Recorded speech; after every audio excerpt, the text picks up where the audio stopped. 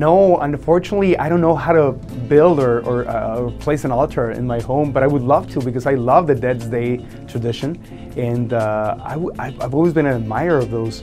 If I did, I would place an altar for my grandparents who were like mom and dad when I was little, and the whole family revolved around them, and they were beautiful and loving, and they were like boyfriend, girlfriend, and they were an amazing role model for all of us. So if I learn to place an altar, which I wish I will learn in the future, I will dedicate it to them.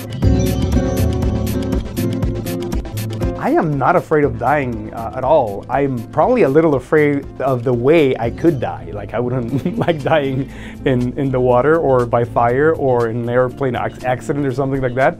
But I'm not afraid of dying. I think we're just here temporarily. I, I believe we're spiritual beings having a human experience and we're here learning. And when I die and leave these, uh, this body, I'm just gonna become a freer and more of who I really am. So I actually I look forward to what's in the next life. I'm just uh, being careful and hoping that I don't suffer a lot when my body goes to the grave. Death means just uh, an end of a cycle. Everything in the universe is, is a cycle things are born, things die, and I'm part of that universe. And uh, it's just it's just a, an end of a stage. I don't I'm not afraid of it. I don't see it as something wrong or something good. I see it just as a as, as part of the cycle of life in the universe.